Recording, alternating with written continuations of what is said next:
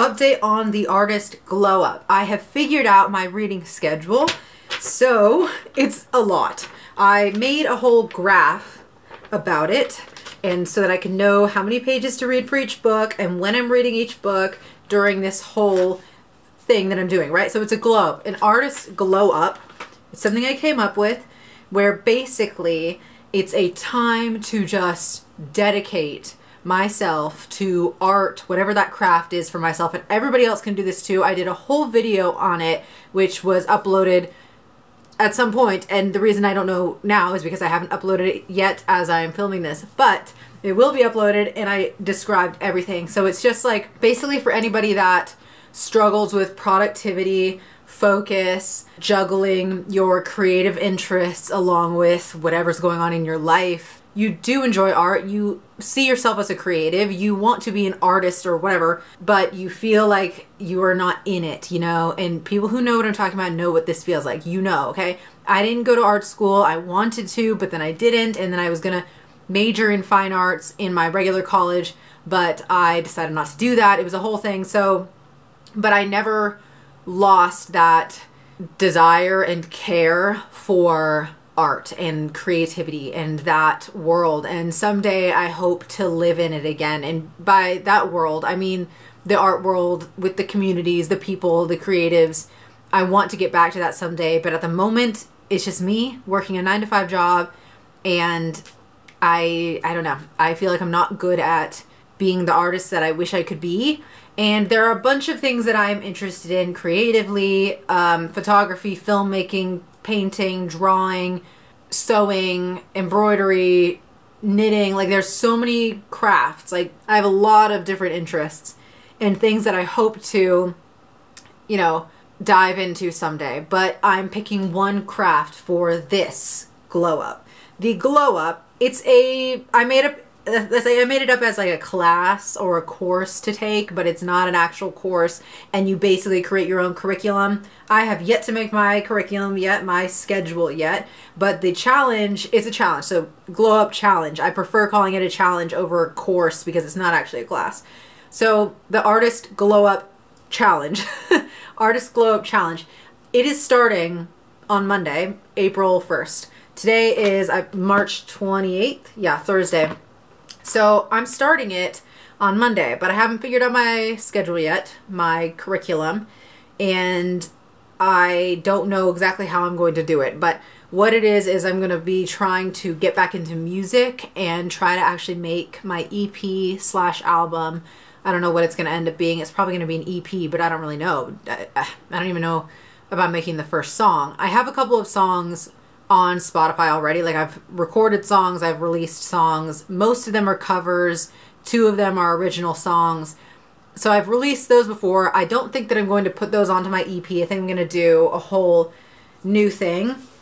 Um, and I just want to do it for me because I was kind of going to give up. Not like really give up on music in general, but I kind of was like, you know, I'm probably not going to be you know, who I wanted to be when I was in high school and I was like, I want to be like Halsey or somebody. I want to be like a rock star slash pop star or I want to be in a band or all this stuff. Like, I kind of think I'm probably not going to be doing that. But because I'm, I mean, I mean, I'm 26 now. It's not that I'm running out of time necessarily. It's just that I'm like, at this point, what that path looked like to me in high school probably is not what it's going to be, but I can still do music. It's just different. And my interests are also sometimes very niche. Like, I wouldn't be, like, to me, doing music or being a part of the music world could be just being a jazz singer or something someday. Like, I don't mind, like, however old, like, I've got time because I can do anything I want whenever I want. I can be in my 40s, 50s, even 60s someday if I can still sing. I don't mind if that opportunity comes then where it's like, oh, I just go to a jazz bar and sing every weekend. Like, I just, I love that kind of stuff. So I don't need to be a rock star. Like, I don't need to be famous. I'm not really looking for that anymore.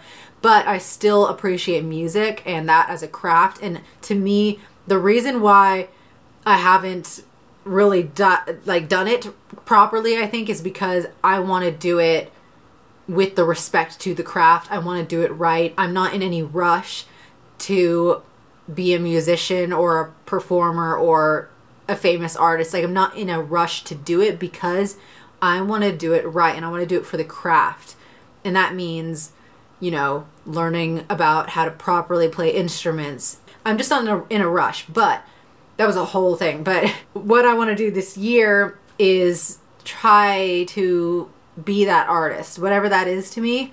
And my craft of choice to focus on is making an EP. Yes, so the challenge starts April 1st and it's supposed to go April 1st to the end of October. So either October 31st Halloween or sometime in November, but like that's the span, that's the time frame that I'm looking at. April through October. And so how I've structured it is you create your own curriculum with whatever craft it is that you want to do, whether it's music, photography, clay, like ceramics, drawing, like anything you want to do, writing as well, whatever it is, it's a creative craft. That's what you can do. And you just create your curriculum and certain goals and intentions. Like set your intentions, which I haven't, I might need to do a video about that. What are my intentions? Because I, I wrote some down, but that's something you might want to do. Set your intentions come up with your goals, gather up your um what what is it like your tools that you need and things like that. Now, when this is uploaded, God knows when, it's probably I mean, it's a little late now. So you can start whenever you want, but and do it whenever you want, but I'm doing it April through October. So I'm going to be making an EP. That means that there's going to be music practice that has to be done. That means there's going to be writing, um, all of that. And then at the same time, I have some books. So that's what we're talking about right now. some books. I'm creating a reading list for myself, and everybody else can do a reading list too. If you like to read, if you're totally not a reader, then don't waste your time. It's totally okay. But there are two books that I thought we should have as the actual textbooks of this class that I made up, this challenge. If you would like to participate, there are two books that are a part of the actual curriculum for everybody, I think, but you don't have to. But anyway, that's what I'm going to be doing. Like the standard textbooks for this made up class. It is The Artist's Way by Julia Cameron, and then The Creative Act A Way of Being by Rick Rubin. This one I'm a little skeptical about because I've heard some people have some issues with it, but I'm just going to read it and take it with a grain of salt and get from it whatever I get from it. And then there's this one which has helped a lot of artists actually, but again, neither of them are perfect. It's not about one path to creativity and one path to being an artist. You can be whatever kind of artist you end up being. Like you have to be yourself and you have to be your unique version of whatever that art form is to you. So this is just if you would like to read them, I think it'd be good. I've never read either of them. But the schedule is I'm going to start with The Artist's Way and then I'm going to read this in the second half of the year. This book is structured already as a 12 week kind of practice. So every chapter, pretty much, I don't know if you're going to be able to see that, but every chapter is a week. So I'm just going to do the 12 weeks. I'm pretty sure it's 12 weeks, right? Yeah, 12 weeks. So on my little schedule that I made, I did break it up to 12 weeks of this book, and then it's going to be this for the rest of the year. So I have four categories of books that I'm doing and you can do this too if you're a reader and you want to do this. So the first category is the textbooks. So it's broken up this and then I'm reading this. So if you're going to read them too, we can do it at the same time. But this is the order for this category. Then the other category is one or two books on an art craft or art history era, like something specific to, I mean, it could be anything you want, but probably it should be specific to the craft that you're focusing on for this year, for this challenge. So I have two books picked out. So for this category, since I'm doing music, I am first going to read this book. This is The Rest is Noise, Listening to the 20th Century by Alex Ross. And then I'm going to listen, not listen. What did I, I don't know if I said anything correctly just there because now I'm like, did I say I was going to listen to this? I'm going to read this. I don't know. Okay, then I'm going to read How to Listen to Jazz by Ted Gioia. Goya? I don't know. Haven't read either of them. This one is really chunky, but again, I broke everything up into the proper schedule so I know how much I have to read of each book. And it's not that crazy. Guys, I had no idea because I'm such a slow reader. And I've realized now it's not because I'm slow at reading, it's because I'm not consistent enough, really. At reading, I'll read a couple pages of a book and put it down for weeks and then try to pick it back up. And that's why I've been reading this book for over a year. And I was trying to finish this before Monday, before April 1st when I start this challenge, but I'm not going to finish it in time. Like, I'm totally not.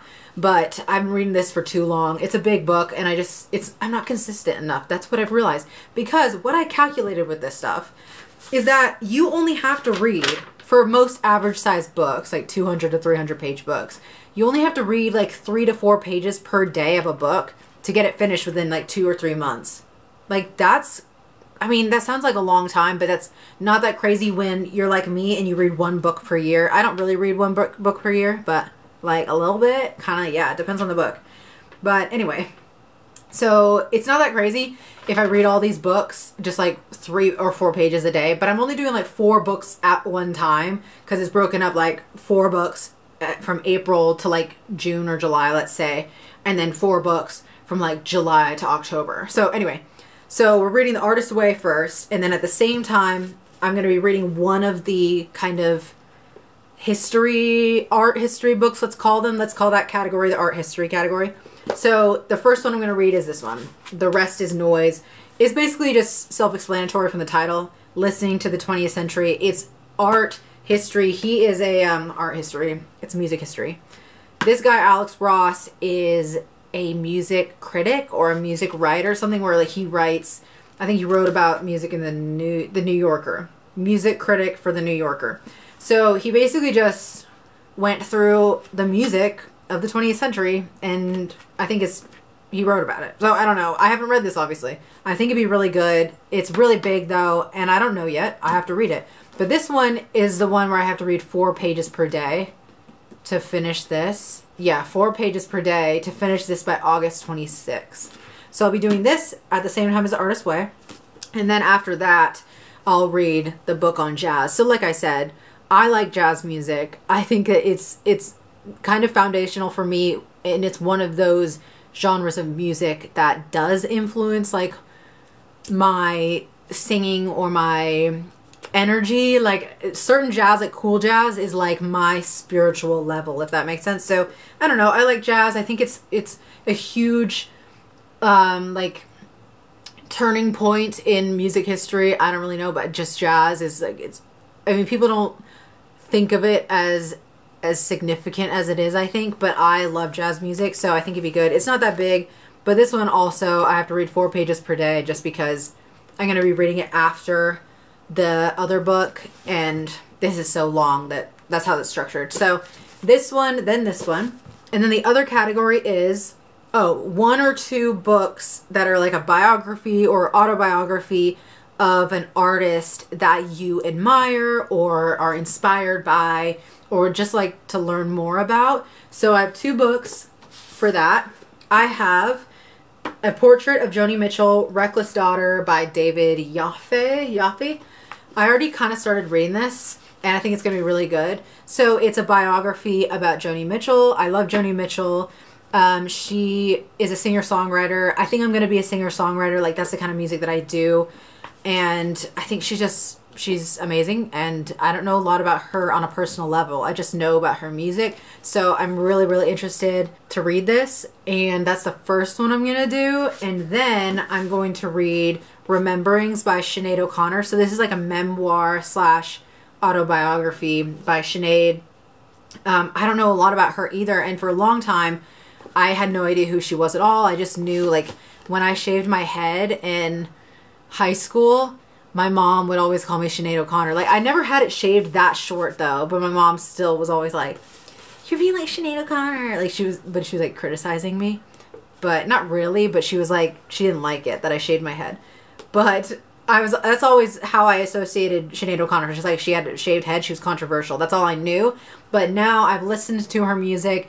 I highly respect her. I think she's an amazing artist, and so I I know that she had. This is going to be probably a dark read because she had trouble and um, a lot of trauma and things like that. Uh, but it'll be very interesting to read. It's very short. Um, and I'm really excited to read this one. But first, I'm going to read the Joni Mitchell one. Then I'm going to read this. Both of these, I only have to read three pages per day. So that's not that bad. And then the final category, yeah, the final category is fiction books. This is totally optional because it's just if you want to have an extra little bit of entertainment that's not going to be this stuff that other categories. So I'm doing two fiction books and I have so many books that I just went through and picked something out, but I'm going to first read Tom Lake by Ann Patchett. The reason I chose this one is because I think it'll be a good spring read, so I'm going to start this one first. And it's not that long, like it's not that crazy, and I think it'll be an easy read.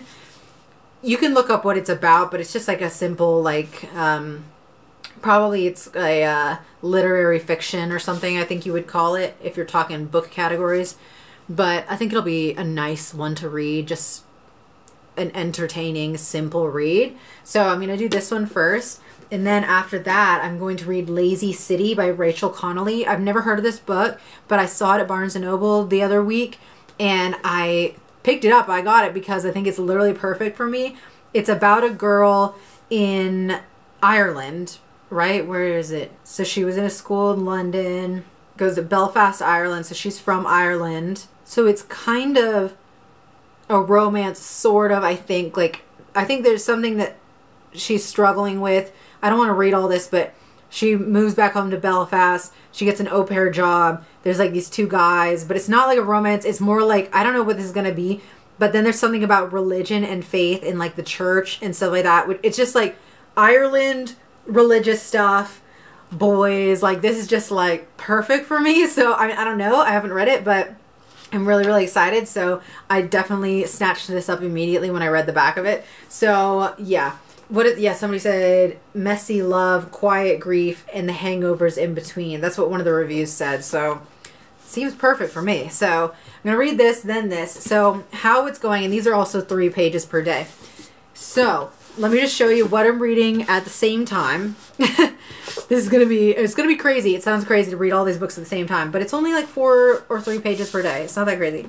So gonna start with the artist way, okay, for 12 weeks. And at the same time as reading this, I'm going to be reading The Rest is Noise and The Portrait of Joni Mitchell and Tom Lake. So all of those at the same time, and then they'll all kind of end between June and August. Then I'm going to be reading The Creative Act and then How to Listen to Jazz, Rememberings by Sinead O'Connor, and then Lazy City by Rachel Connolly. So, yeah, these ones are to go from around July to the end of October. So, that's kind of crazy, right?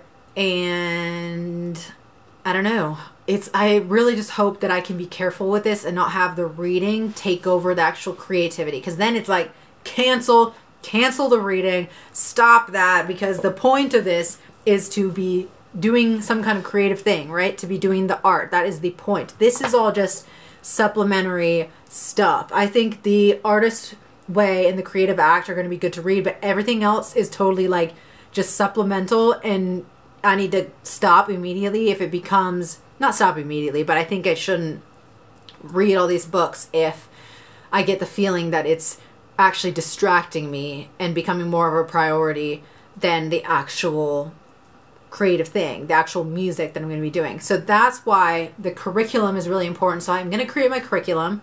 I need to do that like maybe tomorrow or something. I need to do that because then it's the curriculum first, like the actual goals and the tasks and to dos of the creative project that is going to be the main focus and then this stuff is just like in the background like an actual class right? It's the studying and the like well the reading is a part of it but the studying and tests and assignments and things like that and the reading is just supposed to be happening in the background. You're supposed to be doing it so that you actually learn some bonus stuff but it's not the actual assignments and the projects right?